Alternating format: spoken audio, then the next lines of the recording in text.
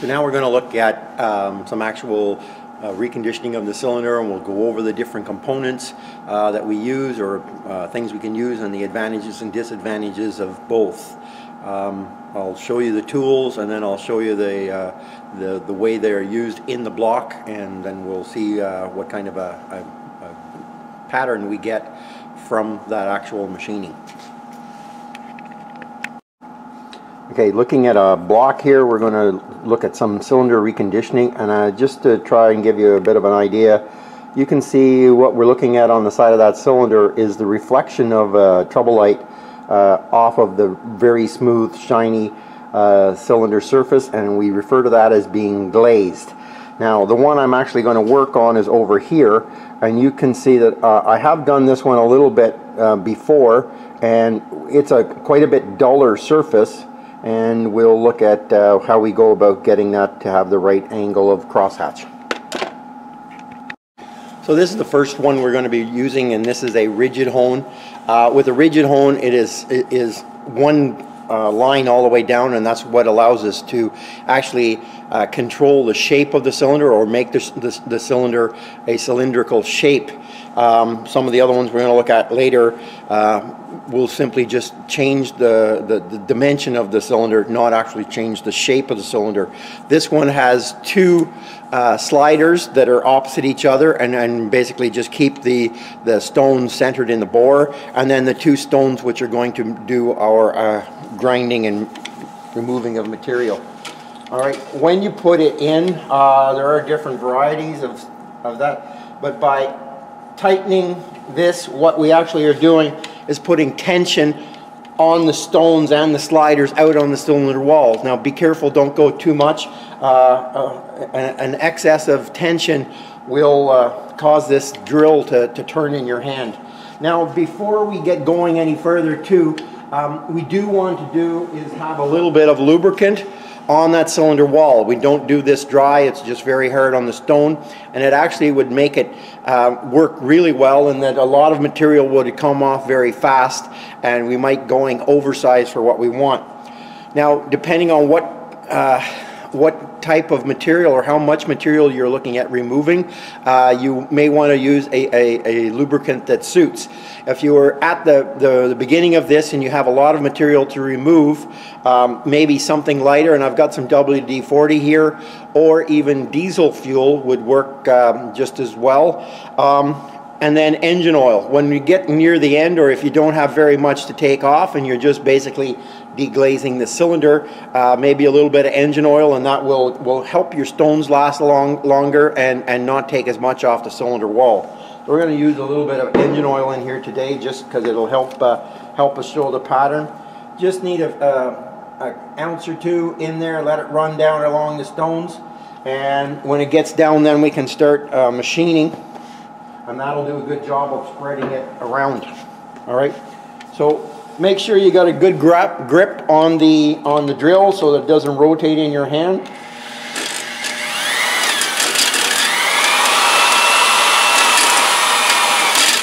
And simply work it back and forth. Now, a couple of things to watch for. We don't want to end up with a condition where we come out too far and have the, the, the stones come out and start flopping around. We also don't want to go beyond the, uh, the point um, at the bottom of the cylinder where it might hit something at the bottom of the block. Everything, this block is, is completely bare. There's nothing in it. The crank has been removed. But um, in the webbing of the block on, on the bottom, it actually sticks out beyond the cylinder. And if I go too deep, I'm going to, uh, going to rub my stone or bang my stone against it and that'll be the end of that stone.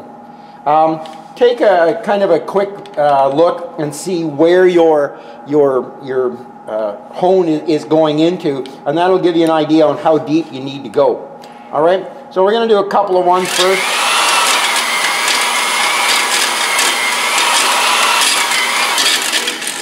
Now with this, I, I see until you figure out exactly how much you want to be, uh, be moving it in and out. Because what we are looking for is a 60 degree angle on the crosshatch. So stop after you've done a couple of passes at, at a certain speed or a speed you think that you're going to be working at and see if that is giving you that 60. Now this is a slightly, it's slightly flat from what I, what I, I should be having. So uh, in order to make an adjustment on that, I can either slow down the revolution of the drill or increase my, my reciprocating of it in and out until I get that 60 degree pattern. We'll try it again a little bit more and see what we can do. And I'm going to put a little bit more tension on it.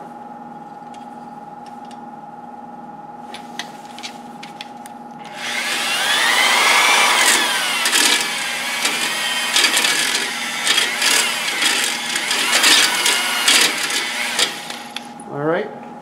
Now, uh, we're obviously not taking very much off. Um, I'm going to stop the camera and move it over so you can can can see uh, what I'm talking about about checking the angle, and then we'll come back and we'll try another style.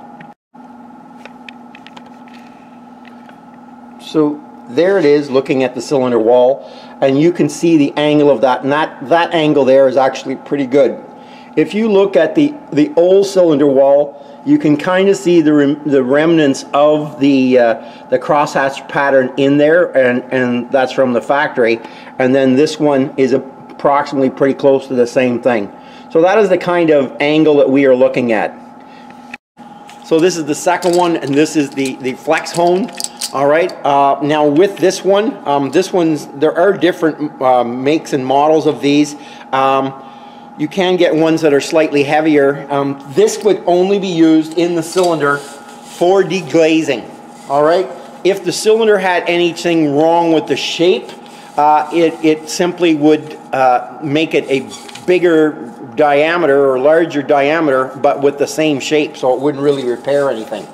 Um, thing with this one is they, they, I mean, they're, they're fairly cheap to buy, um, but as again, it's not going to correct anything wrong with the cylinder. Now, just to show you uh, a little bit of a difference, I'm going to use this one and we're going to show you what happens when we uh, increase the RPM of the drill and, and not change the amount that we, we reciprocate it in and up and down in the cylinder.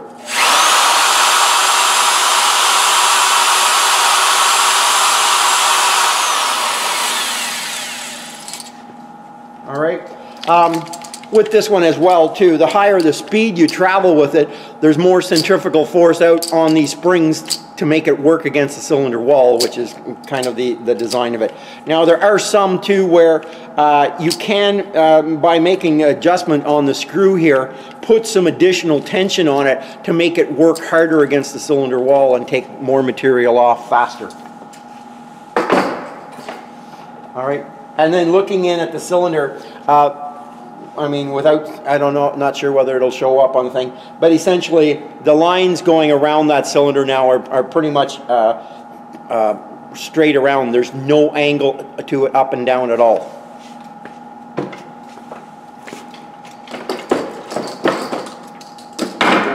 The last one we're going to look at is this one, which is a ball hone. Um, these are, are little carbon balls with an abrasive uh, bonded into it. They are spring loaded onto uh, you know very uh, like almost like a, a, a bottle brush. Um, they are they are available in different diameters. Um, you can these are not like just fitting one size. As long as you have some tension or resistance against the cylinder wall, it will work well for you. Now this uh, tool is actually used, would only be used for deglazing that cylinder. Uh, you wouldn't use this to try and change the, the dimension or the size or, or go up or you'd, uh, you'd be there an awfully long time. But for like the earlier cylinders when we looked at them where it had a very glossy finish to it, uh, you could run this in and out uh, 10 or 20 times and that would break up that service when you were doing a, an engine job and, and maybe uh, replacing rings and you want a, a nice crosshatch pattern with a, a, a, little micro inch surface on there to, to get the proper wear in. And the same thing, we'll give you a little demonstration. This one I'm just going to use a, a little bit of WD-40 in there first and I'll show you what would happen going the other way.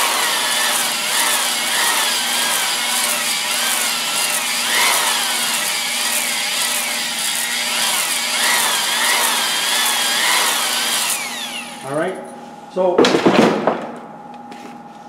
with that, we end up where the, the, the, the lines or the scratches on the side of the cylinder wall are more uh, along the way that it, the piston would be reciprocating and the, the angle is too steep. It won't be very good for your rings and it will lead to a early failure on the engine. All right, but that is from going too slow and reciprocating in and out too fast. So let's start with a, a, little bit of an inspection and description of, of the block or the bottom end of the block. Um, these are my, my main bearing journals, all right? So one of the inspections we will would have to do on that is check for, to make sure that these are true, all right? And what we need for that is a straight edge and a thickness gauge or a feeler gauge. Uh, now, with, with the, the right thickness of gauge for what your, uh, your specifications allow for clearance. Um, but what we're going to do with this straight edge is position it along three places around this, this block, all right? So the first one is the easiest, is right in the bottom, and then simply try your thickness gauge and see whether it's going to, to pass through underneath that, all right? Then from that we would do the other side, uh, you know, the one side, and then the opposite side to make sure that they are, are, are in contact or, or straight. What this is determining is that, that they are in the correct alignment and everything will, uh, will not uh, cause a problem later. All right? So moving on from that, I want to kind of go through and have a description of the oil flow through the block. All right? Over here on this side, we have the mounting uh, spot would be location for the, um, the oil filter, um, the uh, pressure regulator, and the, uh, the cooler running down the side of the block. Um, I'm going to use this, which is a, uh, just a ordinary tie wrap to show you. When we look at the block, and I'm going to spin it around a little bit further so you can see, all right, you'll notice that there's a, a, a usually some kind of an extra uh, material here uh, in the casting of the block. That casting then is drilled from one end of the block to the other and that intersects with the oil pressure uh, gallery and that supplies oil pressure all along here. And I have this one removed, but we have another one over here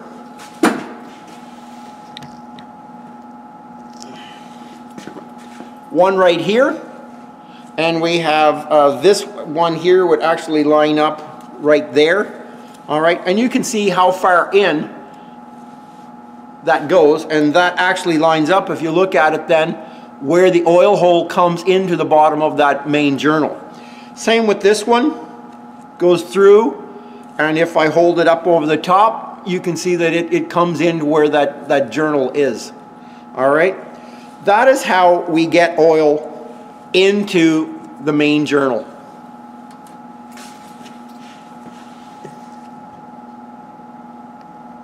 All right. So from this position, all right, we also have a drilling that goes all the way down to the camshaft. All right. So the journal bearings on the camshaft will get lube at the same time or from the same source as my main journals. All right?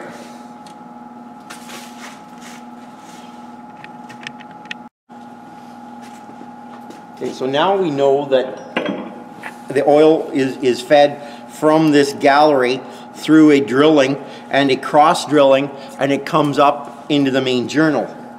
I want to talk about the, the oil, actual oil or, or uh, friction bearing that would sit in there. All of the friction bearings in the top half must have a hole to allow the oil then to come through into the bearing and around my, my main journal. All right, when we are putting the bearings in, make sure that your surface of your journal is clean and dry. No oil is required on the back side of the bearing it actually will hinder it. It will actually uh, allow that bearing to, to rotate in the bore a whole lot easier uh, if we leave oil on the back side of it. Um, the other thing to look at, and we've talked about this a, a, little bit, is that we have the tab in the correct position. So it must be located, and there's only one on each journal, and it must fit in flush. All right?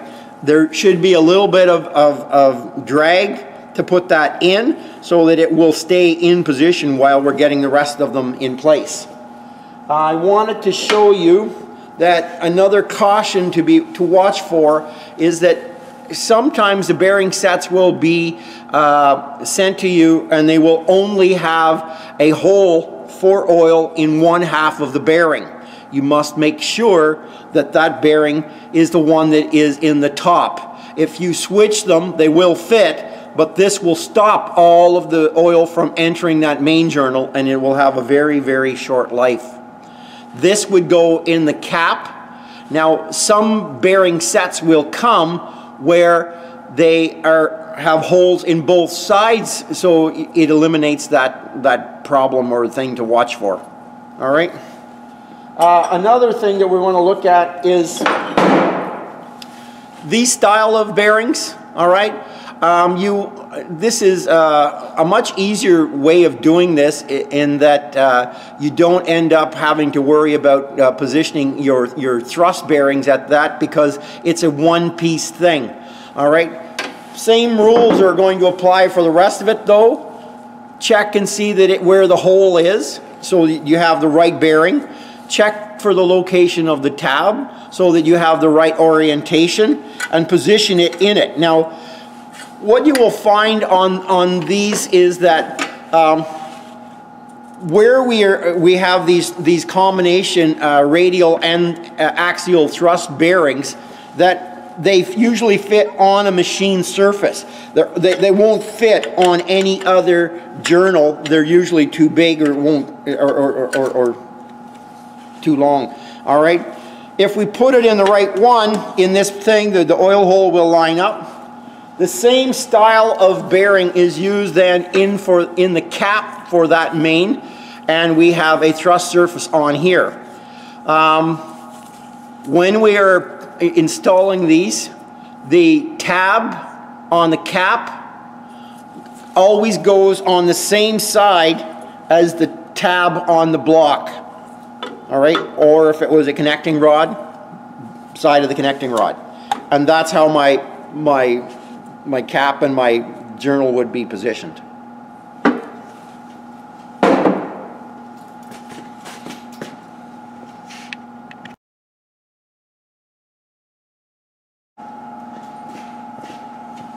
Okay, so we're going to continue. We're going to look at, at some of the things on a crankshaft and show you and describe them.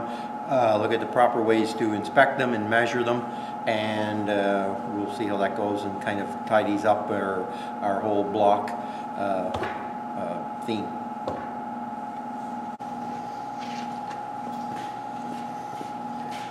So on our block, because we have it set up and I've gone ahead and got this ready, uh, what I want to start is shaft, crankshaft run out. Now in order to do this, you need to have an adapter onto your dial gauge that is long enough that is going to allow the counterweights and the webs and the crank pins to pass it and wrote uh, clearly without interfering or giving it a bump. All right, now I, I have it set up. It's not a, a an ideal uh, set of V blocks, but it will work for this just for the demonstration purposes. Um, couple of things, and as I roll this around, uh, I want to, to show you that you can see that my, my indicator rod is slightly off center on the center main journal. I want to support it in the V blocks on the two outermost uh, journals and I want to take my reading on the center journal. But I also want to leave a little bit off and if as I roll this around you will see that that is the oil hole that we're going to describe in a few minutes and what I want to make sure is that as I'm rotating this around that my my rod isn't going to poke into that hole and, and, and move everything. All right, I'm gonna move the camera now and zoom in a little bit so that you can see the dial and uh, we can watch this.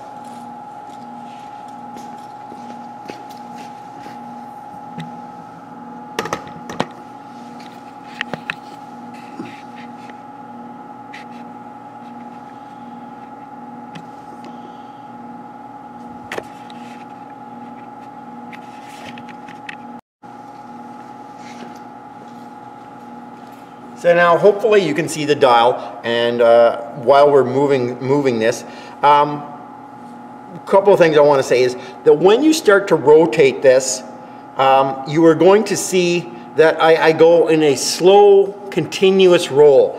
If you can see the dial and you see that if I have little jerks and, and stop and change direction, that the needle actually moves.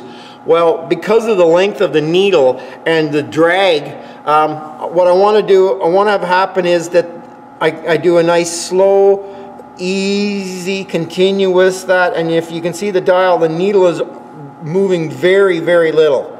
All right, um, so and that's an indication of it's it's pretty good. Now, when you're setting this up, uh, a lot of people will want to zero the needle exactly. That's that's not really necessary. Uh, if you're somewhere close, because what will happen if you have any run out in your shaft, what will happen is the needle will move in one direction and then it will move back in the opposite direction until it, it comes back the, the amount that, of that it, clearance we have or the amount of bend we have if we have any. Uh, and I'll show you on another crank what that actually would look like. So when we are, are calculating this, it would be um, how much it moves in one direction and then how much it moves back in the opposite direction. So if it moved 3 thou clockwise and 2 thou counterclockwise of the zero, that would mean that my total indicated run out would be 5 thousandths of an inch. All right? Um, we'll, we'll, I'll set up another uh, crankshaft and show you, but what I'll go ahead and do now is show you some of the things for measuring a uh, So now let's have a look at some of the other things we can check on the crankshaft, and that is the journal uh, to make sure that it is a, a, a perfect circle and uh, that it is the shape is true from one end to the other. All right. So what we do to make sure that the, the journal is round is we use micrometers. We measure the journal at one angle and then we measure it at 90 degrees to compare it. All right. So a couple of things I want to say about this is that um, a lot of people will drive themselves crazy trying to make all of these measurements and doing each individual measurements and recording them. But I want to show you uh, a little bit of a shortcut. All right. So I have this micrometer, which is a two to three inch micrometer. Uh, I'm going to set it, loosen the lock, turn it, and I'm going to set it for my first journal measurement. All right. Now, what I want to do is I want to measure it at this position. I'm going to lock it. It slips off. And I'm not even going to look at it. I'm going to turn it 90 degrees and I'm going to see that when I put it over the, the, the journal, it actually fits with the same amount of drag as the other angle had. So now I know that this dimension and this dimension are the same. So that is a true circle. Now to speed this up even more, I can measure all three positions at one angle and then all three positions at another angle, right? And even with that, I am still not going to look and make a reading on my micrometer. I'm simply going to rotate, rotate this up. I'm going to go to the next journal and I'm going to measure it. Oh, and it's got a little drag little drag, little drag. All right? So what I've done is now I've compared this journal to this journal. And then I'm going to do the same for the next journal. Right? And I still haven't made any reading of the micrometer. So in doing this, one thing we should say is that when these are true, and by measuring it at three different places, I'm going to uh, just talk about what the shapes are, but I haven't actually made a whole bunch of readings and people, because they will try to do one reading and read the micrometer, another reading and read the micrometer, uh, the little changes that they have in tension will, will lead them to, to kind of second guess their measurements and think that there are problems. What I've done is just look at the friction and the drag at all of these journals and seen that they were the same. And then I changed the angle and I saw that they were the same. So now I know that they are true and they are equal.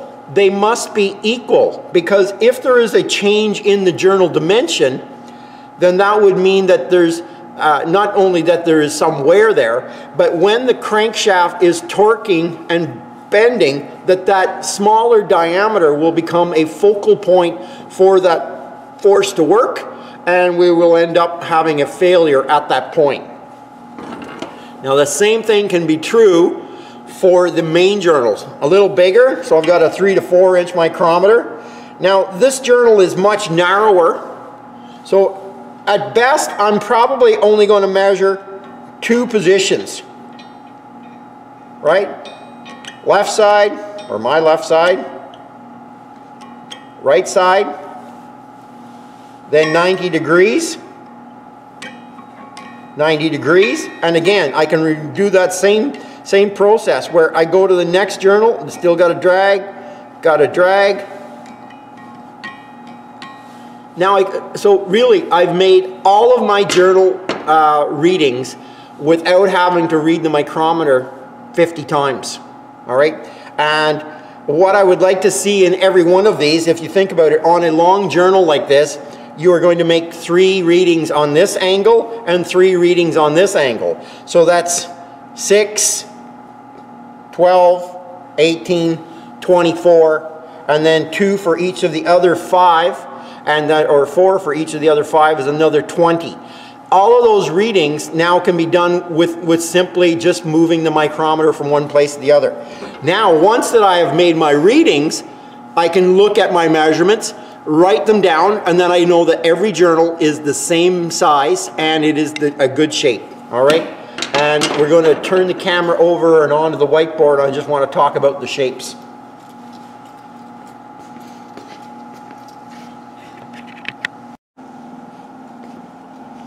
Okay, so uh, looking at the shapes that we have here, right? Um, true. So basically from one end of, of the journal to the other end of the journal, uh, there's no change in size at either 90 degrees of rotation. So that is a that is what we are actually really looking for. That's the only one that's acceptable. Uh, the next one, hourglass. So, and again, the dark part in the middle is the actual journal. So if the middle was narrower than the two outsides, that would be an hourglass shape. Uh, barrel shape, the opposite of an hourglass shape, so the middle is actually bigger than either of the two outside and uh, taper is pretty straightforward. Uh, one edge is, is bigger and the opposite edge is smaller and that is a taper journal. Okay, so now I want to look at oil flow uh, into the crankshaft and how those journals uh, get lubed. So we talked about the, the block having an oil galleries through it that were cross-drilled and intersected and allowed oil to come through the friction bearing into the main journal. Well, what we're going to see on this is that the, the crankshaft actually has drillings in it as well, and you can see my, uh, my tie wrap is moving through there quite easy. All right, so the oil is held in by the friction bearing uh, because it's so close, but we have a little bit of clearance. That oil being held in there forces some of the oil to travel into these holes. What that does is, um, and we are, I'm going to spin it around, you're going to see that we have two, um, that, that is drilled straight through the center of that main journal. But the connecting rod journal has two holes in it. Now remember that this being a V8 uh, crankshaft will have two connecting rods on this one journal. That is why it is so long. So one connecting rod journal or crank pin will be connected and it will get its oil through there. Um, actually, and you can uh, can't get it to turn and come up, but that, that hole actually intersects both of these holes in here in that drilling. So the oil from this will actually go to both of these crank pins. All right? And then if we look on the other one and try the other side, we will see that it, there's more along the lines of what I was actually hoping for. If you can see it, we have my main journal is going to supply this crank pin with oil, and this main journal is going to supply this crank pin with oil. Now, what you will typically see on the specifications for the oil clearance on these two journals, on the main journal it usually is a little tighter, and that is to hold the oil in here uh, for a couple of reasons. A, to keep your oil pressure up, but B is we don't want as much oil to leak out here because we want to be able to force it up to the crank pin journal. If these are a little looser, um, the oil leaking out of here as this crankshaft is spinning around will actually aid in throwing that oil up onto the, the cylinder walls to help cool the engine. All right. Um, we should go over the components or the names of these parts. Um, so I'm probably going to do this and slide the, the crankshaft as opposed to moving it. So I've already said this is the main journal. This is the crank pin. The crank pin is, in this case is a, a double wide because it is a V8 block and we're going to have two uh, connecting rods uh, connected to it. This part, the offset from this um, uh, main journal to this crank pin is supported by a web. All right? The counterbalance is the heavy weight that's uh, associated or, or, positioned, and it's usually on uh, offset from the crank pin so that when this is moving up in the cylinder, the, the, the weight is actually moving down and helping give us a little bit of inertia to, to do, keep the, the, that piston moving up in the cylinder a little easier. All right, and on the back side, all right, or the, the rear of it, I'm going to spin it around. We have a position for the, the, the seal to be located to keep the oil in the engine. And on the very back of it, you, uh, you will see that we have a bolt pattern which is going to allow me to attach, attach my, my drive on the back of the engine, whether it's a, a flywheel or a, a, pressure plate or, you know, uh, so that we can drive our transmission. On the front, we have a couple of things. We have a flat area here, and on this engine, that flat is actually uh, there to provide a drive to the oil pump with the gerotor style pump.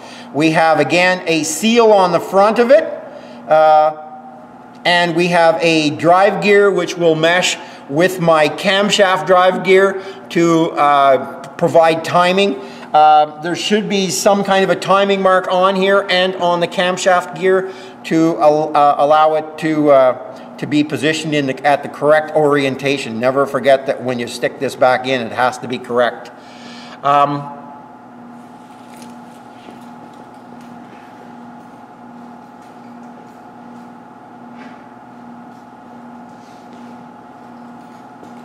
the other component that is usually associated on the front of that crankshaft is the harmonic balance. All right, now I've dragged this one over here. Uh, I'm going to hold it and turn it around a couple of different ways so you can see it. Um, this is a harmonic balance and what we have is we have a heavy steel weight on the outside. We have a, a rubber inset, insert in the middle which is bonded to each of these steel components.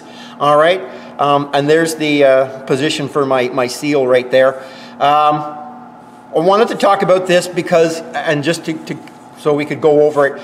Um, when my crankshaft accelerates every time that a, uh, a piston begins to fire and, and have an effect or a, a turning force on the crankshaft, the center of this, this harmonic balance will want to accelerate at the same rate that the, the crankshaft is accelerating. The idea of having the rubber in between is that the center can actually start to, to rotate faster than the outside is turning. But we can't uh, lose the energy. So what happens then is, with a slight delay, the outside starts to accelerate. But by this time, the center may be starting to decelerate and what will happen then is the outside, the heavy weight portion, will actually try and, and keep the speed up of the middle. So it provides um, um, a smoothing out of the speed changes or the speed fluctuations that occur on a, on a crankshaft. All right. Uh, it also can provide a drive for uh, pulley, and we can also have a timing mark on there. Uh, the, the rest of this would be on the front of the block, uh, which will help you identify top dead center uh, when you're uh, building your engine.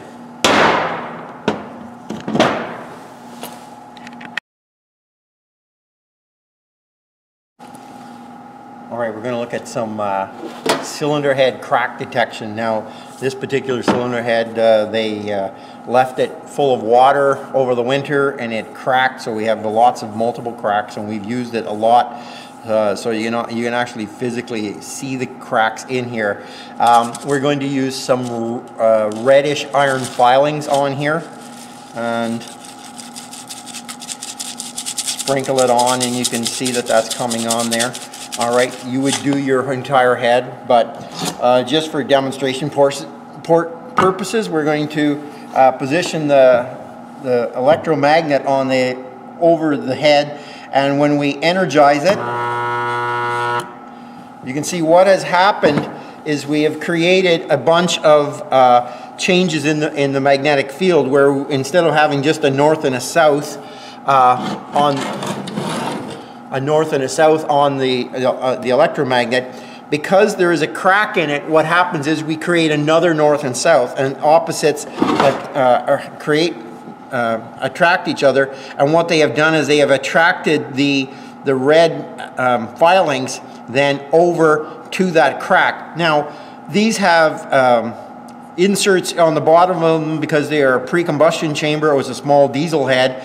And because that pre-combustion chamber is essentially a crack in that as well, it has dragged some filings over to that seam as well. So we have one here, one here, there's some there, and there's some over here. Uh, and again, you know, it, it, it, it's just a matter of putting more filings on, energizing it, moving it away, and looking for the cracks. There's one there. Uh, some we need a little bit over here. Do this, right? And you can see this come up. Every every crack is essentially uh, becomes a little bit more clear to see.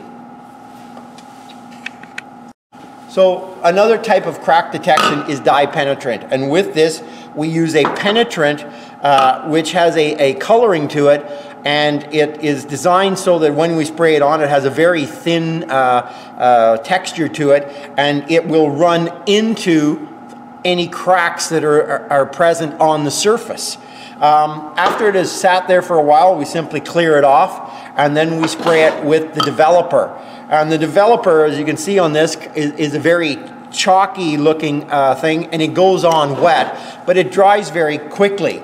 So the principle is then it acts like a sponge on the top and where the penetrant has soaked into the crack and didn't get wiped off that when the, the, the developer uh, dries it acts as a sponge and it brings it up to the surface and you can see where the crack is there.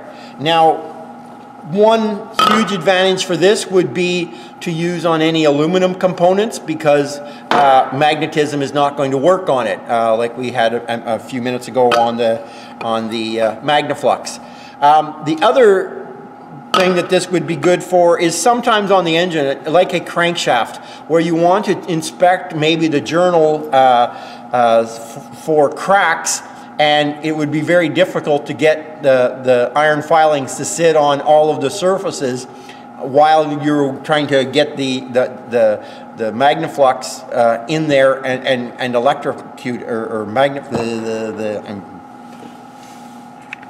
so this would be really useful on an uh, aluminum head where uh, magnetism isn't going to work from a Magnaflux.